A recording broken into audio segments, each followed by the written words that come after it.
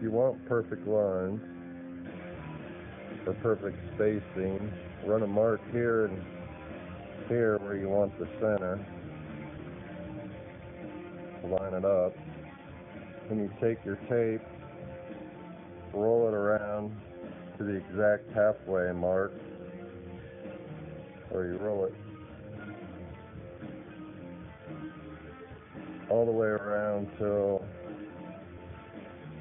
your first mark lines up there where you started.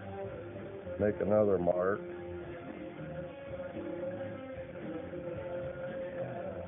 Fold that over. Come back and fold this to that mark. Make a mark. Go back to here. Fold it in half again. You just keep folding it in half. Then so then you can get something like this.